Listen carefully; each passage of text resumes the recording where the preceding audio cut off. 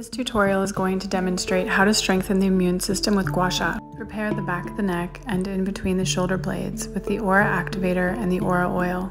This is going to look similar to the technique that we use to release the neck, but the goal is to get over the spine and in between the shoulder blades with the rounded edge of your Aura Stone.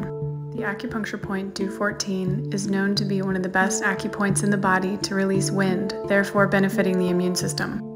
This point is located on the spine where the neck meets the upper back. As much as you can, you're also going to want to gua sha the upper back. This requires a bit of flexibility, but as much as you can, try to access the area that's in between the shoulder blades. Gua sha over the upper back is known to boost and benefit the lungs.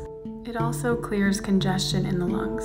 Whether you've experienced gua sha in your home or in an acupuncture office, this is one of the most common areas to receive gua sha. The second point that you're going to activate with your Aura Stone to strengthen the immune system is stomach 36. It's located just below the knee and lateral to the tibia. This point, known as the leg three mile, is one of the most powerful points for overall wellness in the body, and it strongly stimulates the Wei Qi, which is directly connected to your immune system. Using the rounded end of your Aura Stone, massage this area with firm pressure several times.